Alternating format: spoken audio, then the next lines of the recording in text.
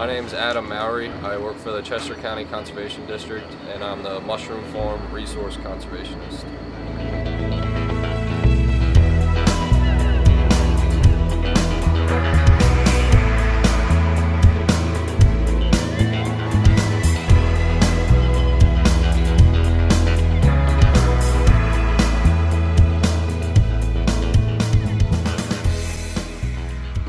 So we're at a mushroom farm here. Uh, I'm doing a construction check because they are um, installing the practices that we designed for them here. Um, this is the design we put together for them. It's, you know, approved by an engineer and this is something that we give to a, a contractor so he can do the work.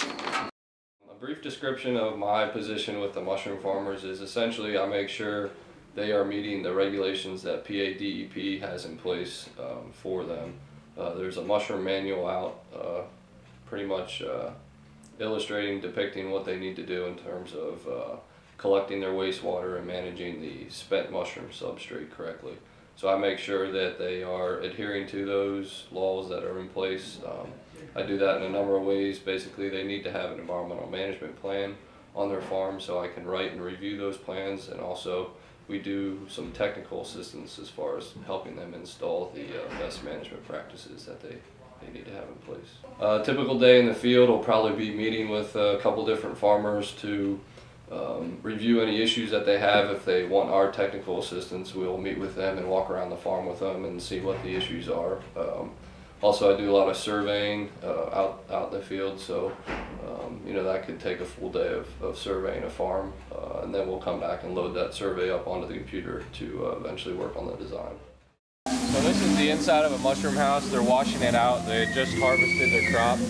Uh, so these are the beds that they load the mushroom compost on. There's six or seven beds in this house. Uh, once the mushroom compost is loaded on it, they'll pasteurize the compost and then they'll spawn it, put the seed in it, and then the mushrooms start to grow probably about after four to six weeks.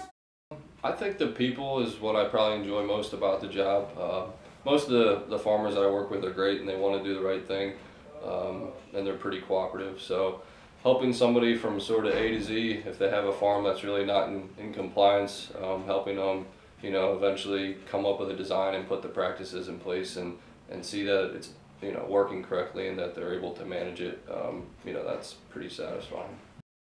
Sometimes you want to do your best, but it takes you a while to get to the point until you really take the words and put them in action. Adam Mowery is a man that takes words, puts them in action.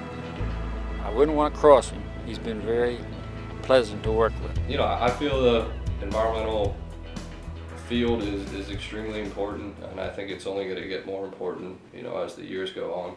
Uh, obviously, the past couple years there's been a lot more emphasis on, you know, going green and doing the right things for the environment and, you know, I think that makes people feel good inside to do the right things, but I think it's really um, important as uh, we continue as a society we need to you know respect the environment.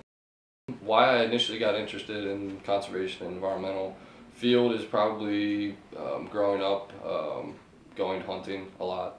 I enjoyed the outdoors. Um, I think it was uh, you know something that personally affected me.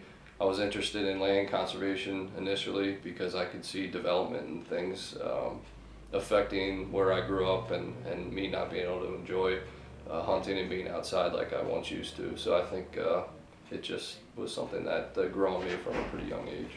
I think there's a lot of opportunities uh, in the environmental field and I think the one um, beauty about you know being interested in the environment and conservation is that you can do any number of things. Uh, ultimately, I think you need to be self-motivated um, and really uh, there's a lot like I said, a lot of opportunities and you need to, I guess, just put your, put your foot in the water and see where you go.